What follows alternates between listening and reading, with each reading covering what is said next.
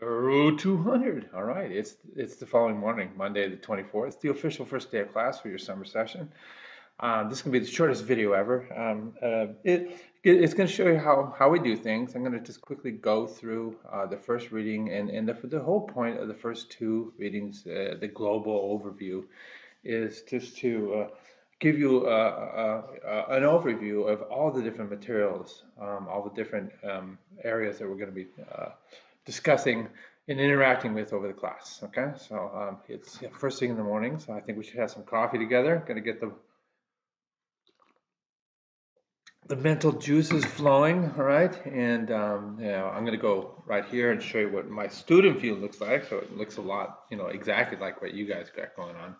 I do want to kind of point something out right now, guys, and that is um, when I uh, will send out these lectures. So we'll post them in the actual um, weekly assignments, but I also will send them out uh, as an email, so you'll get them. Um, so I sent out two yesterday. I was ever hopeful that Blackboard would kind of fix this one thing, but they haven't. So when you when you post a YouTube video, you get the um, the uh, you know within Blackboard launching of the YouTube video right here. So if you click on it, and you can go straight to YouTube. I'm going to put my blah blah blah. Okay. I sent that out originally, and and and you know, in all years past, because uh, we had some updates to Blackboard um, that wouldn't work. And when you send out an email, you also have to put the link if you're going to be watching it on your phone. Now this will work in your computer, but if you need to, to actually watch a video on phone, I need to send the link out like that. And that's why you'll see uh, in the assignments as well. So we're going to go straight to the assignments. I do the same thing. So that way, if you're you know using your phone, um, you'll be able to go, click directly on the link. And you can see the link right down here and then also the you know embedded video.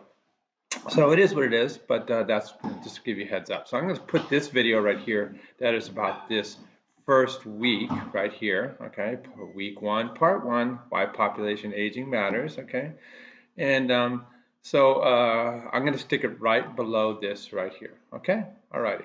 So again, um, you know, how, how, what would I do if I were you guys? I would open my quiz, just like I said, okay? All right, um, I would hit begin, just like this, okay?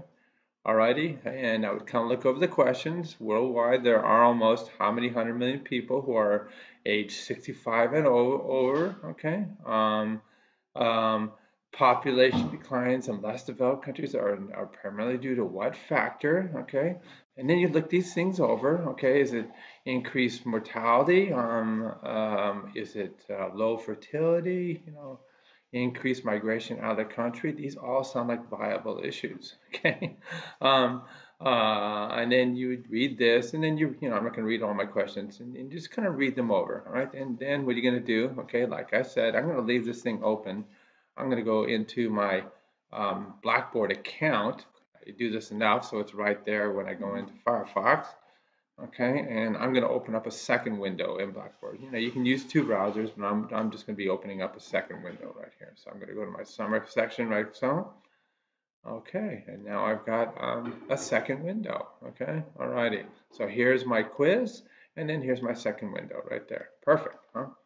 Okay, so then I would just go into the weekly assignments, like I said, and uh, so this is the first assignment right here. So what I'm going to do is I'm going to go ahead and click on this.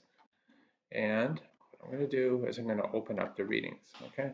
So I'm just going to, you know, the, the, the point of my lectures right here is to give you a, kind of a quick overview. So this was a big deal. You know, National Institute of Health, a branch of the uh, National Institute on Aging, I'm sorry, um, sponsored this. They're a branch of the National Institute of Health, which is a, um, a segment of our government, used to be U.S. Department of Health and Human Services. Okay, and um, they do they um, do these uh, studies about every, roughly about 10 years. So we we expect another one coming right out. So um, uh, again, we just wanted you to go through. Sorry, I'm kind of jittery there. I just wanted to go through the foreword overview and into um, trend five, and then we'll go through the the remaining trends, six, seven, eight, and nine, for this for the uh, second assignment. Of course, this is all the first week because you have a compressed version, but I'll be I'll be uh, throwing out um, uh, the second one probably tomorrow. Okay. All right. So I don't want to overload you or overburden you right now. All right. So I'm going to scroll down directly. So they you know they give you again. Um, some background here, okay? Um, uh, they're, they're, you know, uh, again, looking at lots of different factors in this. In fact, all these different factors, we're going to be, you know, these are variables. If you're a scientist, we're going to look at these individual variables um, all throughout the entire semester, okay? So, you know, we look at things, we're going to look at um, societal issues, okay? We're going to look at economic growth issues, um, family issues, okay? Um, and we're going to look at global issues, you know, international relations as indicated right here, okay? Again, the study was a big deal. Okay, so this was uh, conducted uh, with the World Health Organization. Okay, and um, we're gonna we're gonna tap into um, Our World in Data, and this is the World Data Bank right there. Okay, all right. So and then they they go through you know some of the big issues. You know the big issue is you know. Um, we've increased longevity, and we're going to hear this over and over again. We're going to go over the major chronic diseases of aging in this class around the world. And um, since they're chronic, they're very, very costly to the individual, to the community, okay, to the state, all right? And, you know, these big ones are uh, cardiovascular disease, you know, dementia, Alzheimer's disease, cancer, um, arthritis, and diabetes. We're just going to tap into um, uh, vascular disease and uh, diabetes, cancer, and arthritis, okay? All right. Um, so you go ahead and read through all this. They, you know, they, they again, they, they, they make it compelling uh, about uh, you know, what the issues are. Okay. Alrighty. So you know, per my first question, right, um, it you know it talks about almost 500 million people worldwide were 65 and older. Okay, this is 2006, but that's what that question was pointing at. Okay, and then we can see the projection right here. You know, so these these are unprecedented times. You know, you you, you look at um, a doubling in the population going from 2006 to 2030. This is like evolutionarily, this is unheard of, okay? And this is not the world population, this is the population of 65 and older, that we're gonna have uh, one in eight people on earth, one billion of us that are, gonna, that are going to be 65 and older, all right? So this is the rapid, most rapidly growing age group, okay? Um, and um, and so you have to, you know, deal with this. You have to deal with it um, um, uh, uh, as an individual. You have to deal with it as uh, as a family. You have to deal with it community-based, state-based, because it is, you know, sadly, um, as you get older, um, it's not like you get an infectious disease and we give you antibiotics and you're better, you know, a week later. These are chronic diseases of aging.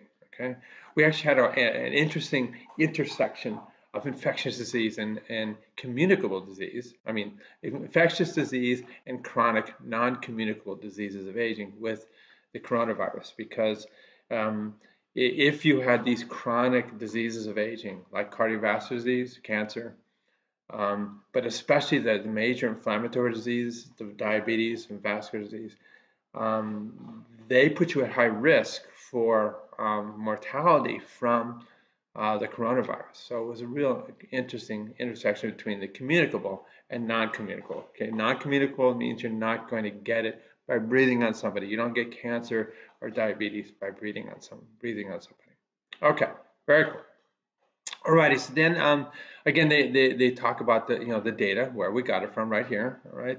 Um, and they talk about, you know, so that some of the big trends, okay? Um, this is per your first critical thinking assignment. We see life expectancy is increasing. And, and in that critical thinking assignment, we kind of want you to to to analyze it and explain why, what's going on, you know, well, why was why was it lagging behind the developmental countries? We'll see dips in life expectancy. You know, our country, because it's an on average number. You're looking at the entire population.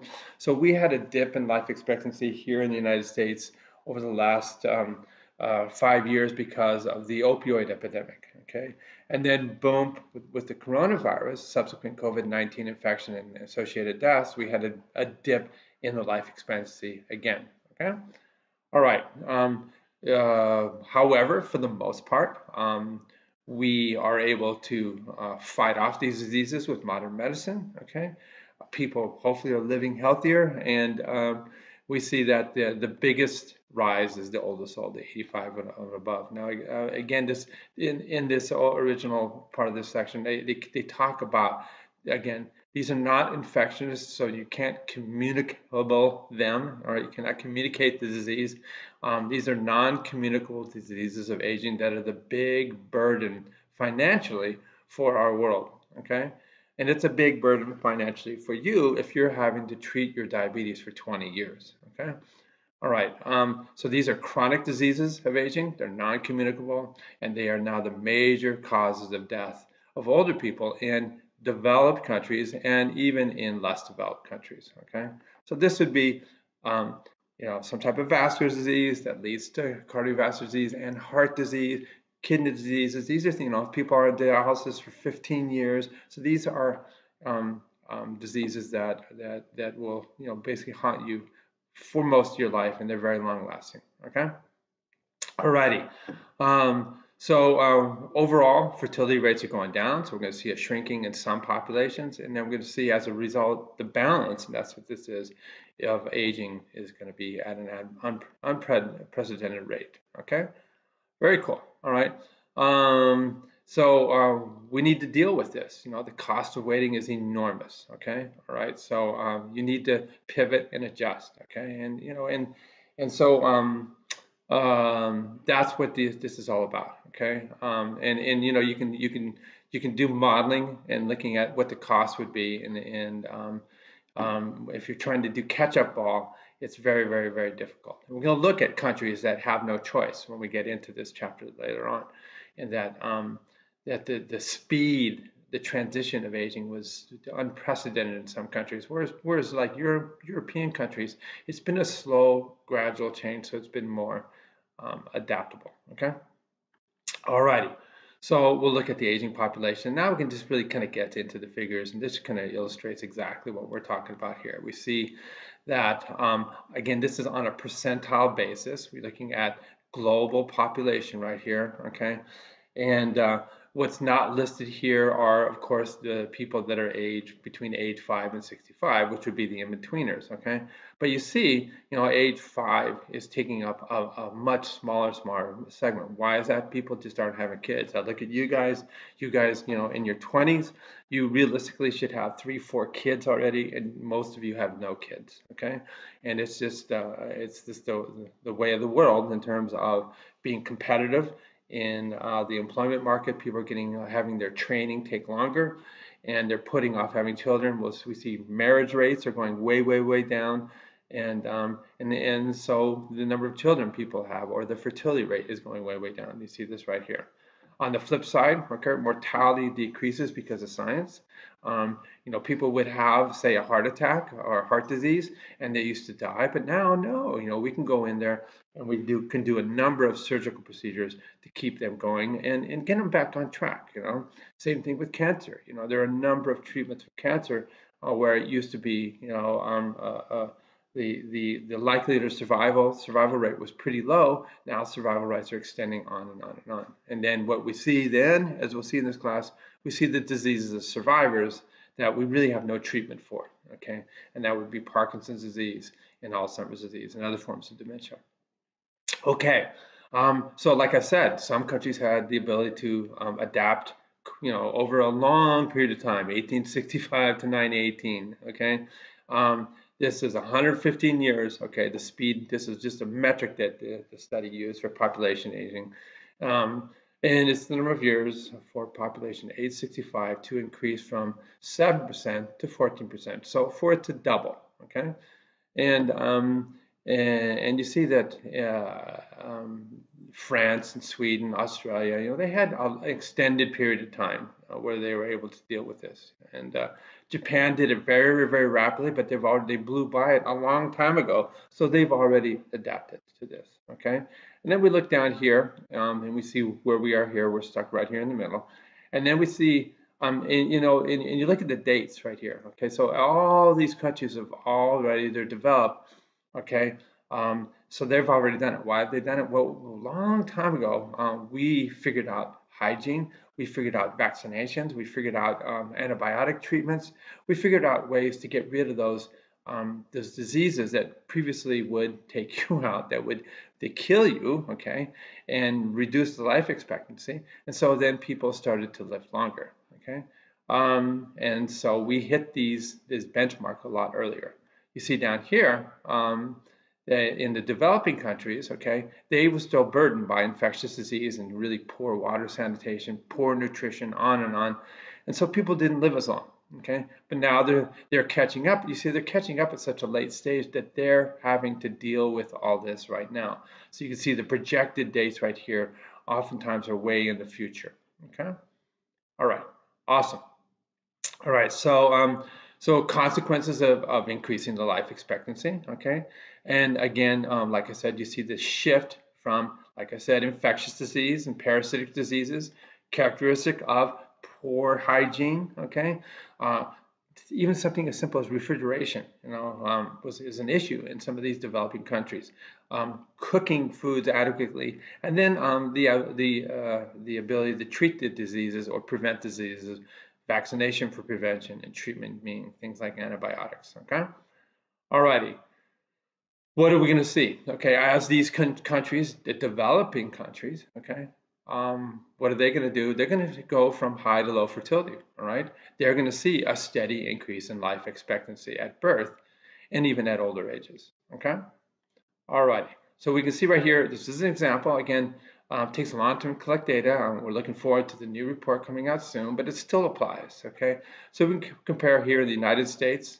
Um, uh, the criteria was, again, white females in this particular study, okay? and um, we look at the um, the survival rate. Okay, so what this is is let's you know, for example, 100% of the people that you did in your study, we can just say you had 100 people. Okay, so here they are: 100 people are born in 1901, or 100 people are born in 2003. Okay, and then what we just do is we um, look who, at who survived to age 10. Okay, also sadly in 1901, roughly 20% died off by age 10. Okay. And then we see by age 50 right here, you know, roughly 40% died off, okay? And then by age 70, you see right here that left roughly 60% died off. So we see the transition, and it's just a way of analyzing the data that happened by 2003 that, um, you know, uh, again, 10-year-olds were pretty much all survived, maybe a 1% loss. And then we come out here, for example, um, but we still have 80% survived at age 72, okay? All righty.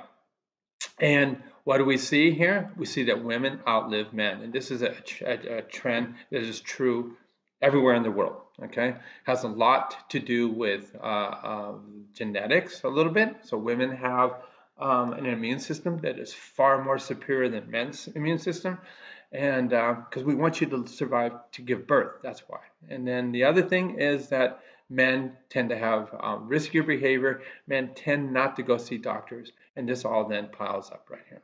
Okay. All righty. Cool. All right. We're going to look at the, the, the consequences of the rise of older people now. So it says rising number of the oldest old. Okay. First of all, um, when companies set up things like uh, pensions and retirement income, uh, they didn't anticipate people living um, out into their 90s. Okay, so way back when, you know, when IBM and, and General Electric and Ford Motor Company they set up these pension systems, you know, uh, people would retire at 65, and then you would pay their pension for maybe 10, 15 years, and then it's good. Okay, now these companies are being burdened with this pension system. Um, out into their 90s. Same drill for government. So uh, the only real true receiver of pensions, guaranteed income, in our country, okay, there's just a smidgen of private companies, is all government jobs. And so as a result, our government is burdened with payouts out into people into their 90s, which means that's your tax dollars. The same drill has happened worldwide, okay? And a lot of European countries have really generous pensions. And so it we're going to talk about their um, their annual income and and the gross domestic product. It's a drain on their gross domestic product because they have to pay out all these pensions. Okay, we know um, that also the other burden, okay, is healthcare costs. We're going to get into that. Okay, um, uh, we're going to see that one cure is to increase our intergenerational relationships. Okay, and this is my my kind of challenge to you, my charge to you is to to really work together with your parents and grandparents as a family collective because it's a lot more powerful. And then we're going to look into doing that for communities as well. All right. Um, you know, really kind of amazingly, centenarians are going to grow and grow and grow. Okay. Which is just an amazing feat of humanity. Okay. All right, so then we kind of go through different countries right here. All right, and and um, and and and again that that seven percent hallmark that we were talking about, and we can kind of look at you know individual countries and as they progress. And I just wanted to get down here, okay. Um, this is the projection of the change, okay, of the distribution of population, okay. This is you guys down here, okay. And again, this is not raw numbers. Raw numbers, there's still a lot more of people 0 to 64, but we're looking at their, their relative percent change to the total contribution of the population with, you know, um, you know looking at, uh, again, uh, um, all the people, okay? So, so um, we're not going to see a big change in 0 64, but because the people are living longer, you see we're going to see huge percent changes here. And, you know, sadly, one, I keep, you know, hammering on this, one consequence of this big um, increase in older people is um, it, it is a bit of a burden because of the development of uh, communicable, non-communicable diseases, sorry, like cancers, heart disease, stroke, Alzheimer's, um, frailty, okay, um, and the need for caregiving and assistance, okay. So, um, so you can anticipate this is going to grow and grow and grow in the world. All right, and so we get into this kind of growing burden of these non-communicable diseases, okay, these chronic diseases that take 40 years to slowly progress, like heart disease, cancer, diabetes, okay.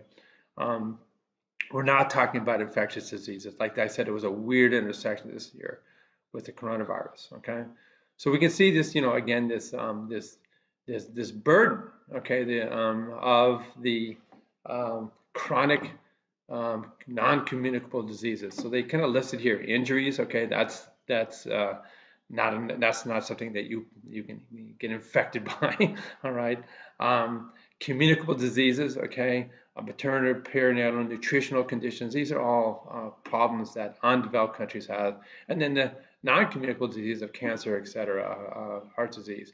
Those are kind of diseases um, that are chronic of developed countries. Okay, so we can see um, low and middle income countries. What I'm going to do is I, I want to reduce it. We can actually see the, the uh, the key here, all right, so we see injuries play a much bigger part here in terms of theirs, their um, uh, causes of, of um, disease burden. Uh, the real big one you hear see is infectious diseases, okay? So we see low and middle. So middle is going to be less than low, but you can see right there, boom, okay? 40% is infectious diseases. Come down here to developed countries right here, okay? Sorry, that was 2002 and 2030 you see um, that you know it's chronic diseases. All right, so just a way of charting this thing out. All right, um, population changes. Okay, predicted population decline from 2006 to 30. You see the big one is Russia, lower fertility. Okay, um, immigration. All right, people are getting the heck out of Russia. Okay, it's cold, it's miserable.